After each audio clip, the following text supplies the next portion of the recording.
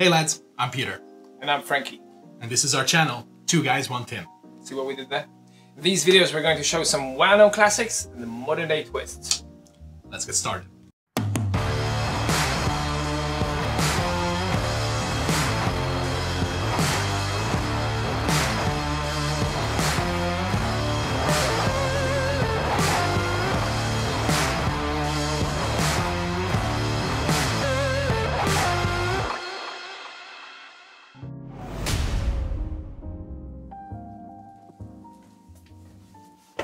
So, how are we going to decide who's making the classic and who's making the twist? Uh, how about a good old-fashioned coin toss? Ah, let's do that. Who would have thought you had a coin? I go with heads. Heads. Tails, bro.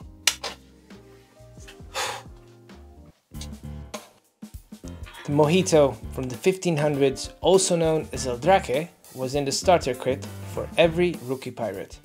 Preventing these wild buccaneers from scurvy, the knowledge of the Mojito sailed through the Caribbean faster than a capricious hurricane.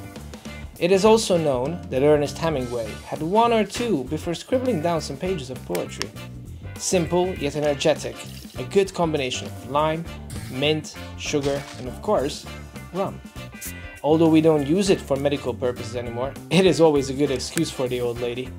It is a superb start and introduction for beginner cocktail fans. Nothing beats the classic, many have tried, eventually twists arose. We also made one.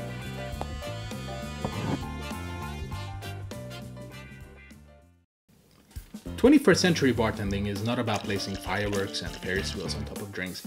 It's about simplicity. Our twist tries to represent that as well. What you need is a good set of hands and time for preparation.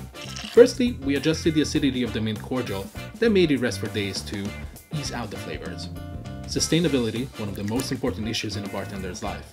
Who wouldn't love a guy who keeps their dollars in check, right?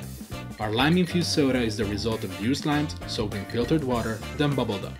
The extra kick that brings everything together is the citrus mint salt, made from dehydrated mint, lime zest, and, you guessed it, salt. The Powered by Garnish plays a fun little game with the flavors. This is our twist, and we named it Cortez Draque. Which one do you prefer? Let us know in the comments below. On a more serious note, 2020 has been a massive Dragon's dildo in all of our asses. And despite what you might think of us, none of us loved it. So many of us lost their jobs, their businesses, their second family. We also got hit pretty hard and still trying to pick ourselves up. Both Frankie and I have been in this industry since we were teenagers. While I spent this time traveling the world, he stayed home and opened up his dream bar. In these troubling and depressing times, it is very important to stay active both physically and mentally.